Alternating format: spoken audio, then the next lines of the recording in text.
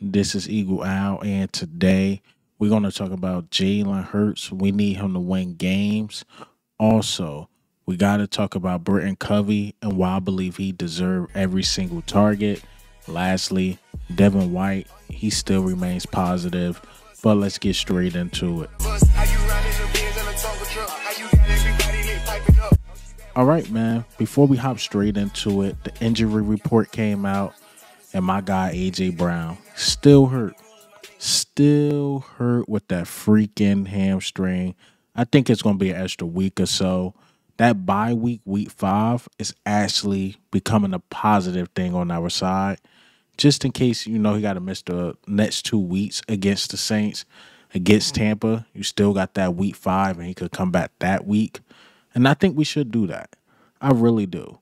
Because we need AJ Brown down the stretch. While we all freaking out, you got Eagle Al crashing out, you got other content creators crashing out. But at the end of the day, we're one and one. We're one and one. So again, we're gonna need AJ Brown towards the latter of the season. Maybe we could get hot. So that's the positive I'm taking out of this. Well, I love AJ Brown against the Saints, absolutely. But my guy, Jalen Hurts, got to find a way to win. He got to find a way to win without AJ Brown. He's saying like, "Yo, we we gonna shake back. We lost. It is what it is." I talked to the team, and he believes the Eagles will shake back. But let me play this clip. More emotion than we typically see. I I, I don't think I've seen you spike the ball before like that. I mean, I didn't very, know I didn't know I could get flagged for that. So if I would have known that, I probably wouldn't have done it. But was there any particular impetus for that type of outward emotion? Um, no, honestly, I uh, I wanted the stadium to feel me, and I, you know, a, it was a, it was one of those games where we we needed everyone, and when I mean everyone, we need the, you know, all three phases and uh, every every seat that was filled in that in that stadium in the Linc, and um, you know, I think it definitely got a good spike of energy. We came up short, and uh, we'll, we'll have another opportunity here soon to to uh, you know shake back from that. Is there with with the illegal down? That's that's my guy. That's my guy, Jalen Hurts. That's the guy I like to hear. And I seen something on Twitter like they was trying to do Jalen Hurts dirty, like saying like, "Oh, here he go, bitching about excuses, this and that." I'm like, I'm reading a quote. I'm like, this some clickbait BS.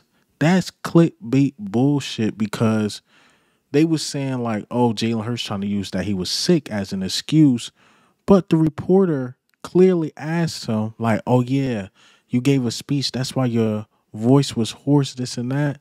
He's like, "Nah, man, I I, I was sick. I was dealing with something, but let me play this clip.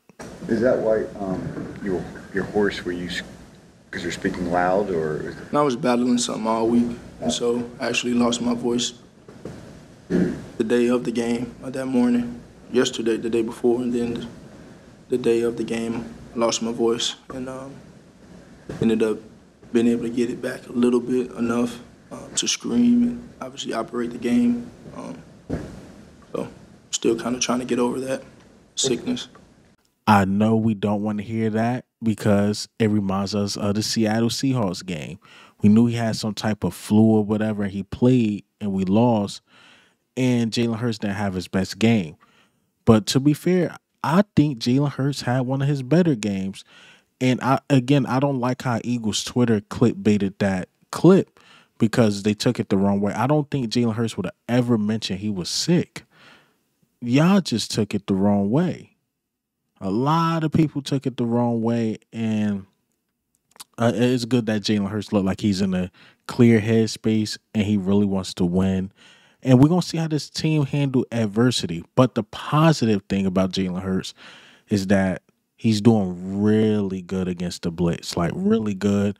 And actually let me play that breakdown by Fran Duffy. Of a pressure look here. So you've got a bunch of guys up on the line of scrimmage, only four guys at the second and third level. They're disguising a pressure here, Atlanta. And so uh, you're sending the nickel corner, you're dropping some linebackers out, there's safety rotation. This is a little bit more of a complicated pressure than some of these other ones that we're looking at. Jalen Hurts throws right into the void, knows exactly where to go with the football. He hits Dallas Goedert here. Goedert's able to drop step and get downhill for a nice little pickup against the blitz. And really, what stood out to me as well is that it's not just about Jalen Hurts and his understanding of where the blitz needs to be, but it's also pre snap. The Eagles have their protection rules in order. The offensive line, the running backs, the tight ends, they are, it's very rare that we have seen free runners come through where guys had uh, mental errors uh, on these blitzes. And here's a good example. This is that Goedert completion from the end zone angle. And again, you've got this pressure look, six guys up on the line of scrimmage. So those six are going to be accounted for by the five offensive linemen and the running back. And once the protection is set, that is the protection. Now, what the Eagles are doing here is that you're essentially getting a four man slide. You're going to get everyone from Landon Dickerson to his right. Everybody is flowing to the right. So Lane Johnson has that rusher off the edge. Mekhi Becton has the defensive tackle.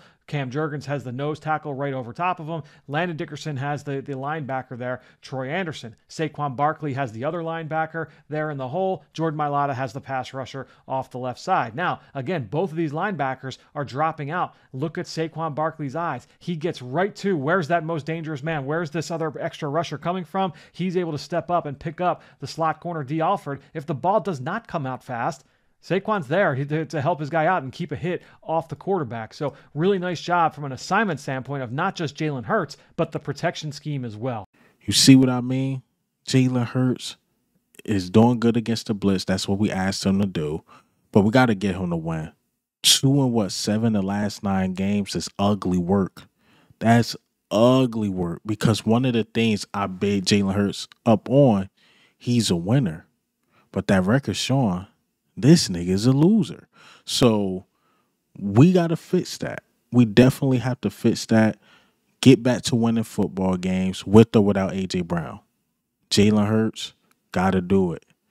DeVonta Smith, he's getting paid $25 million a year. He got to be able to handle that spot. But who's going to step up in that number two spot? That's the question. Will it be Goedert? Will it be Britain Covey? Who would it be?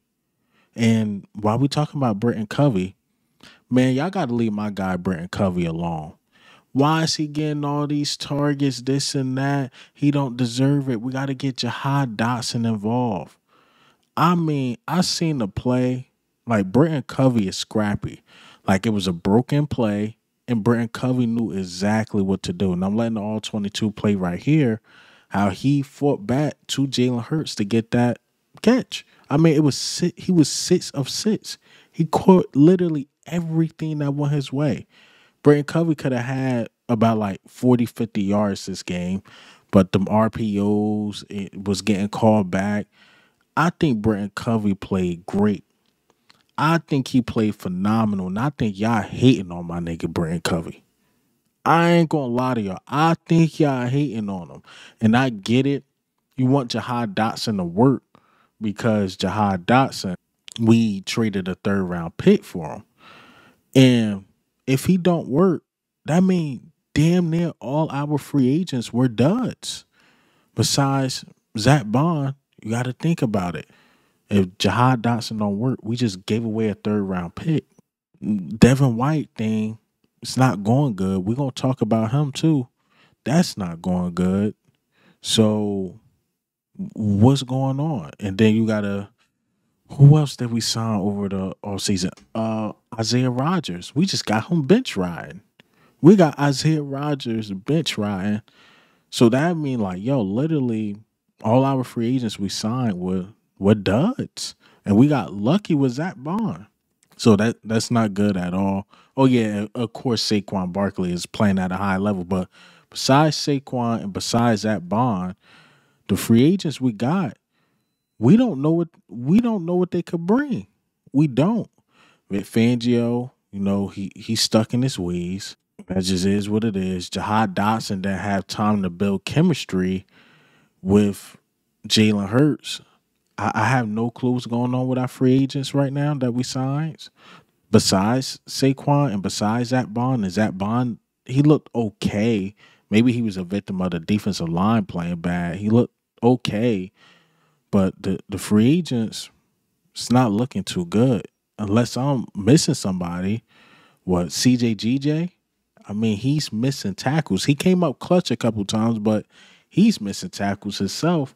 So that means damn near every free agent we sign, it's, not looking good.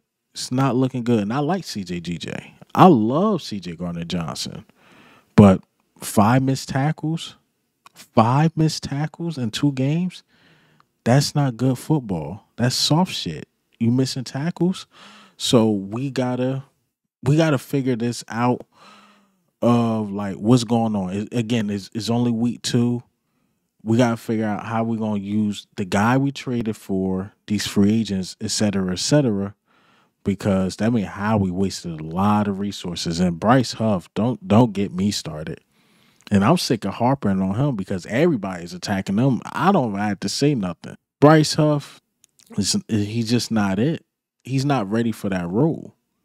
It's not. He's not ready to be that top guy. So I, I might I might make a whole video about just talking about the free agents we signed because I'm thinking off the top of my head. But back to Britain Covey, man. Britain Covey, to me, he deserved everything. He looked like the second best guy. You you got to find a way. Again, I still agree. You got to find a way to get Jahan Dotson involved, especially Dallas Goedert, Especially Dallas Goedert, because he's your big target. He's your mismatch.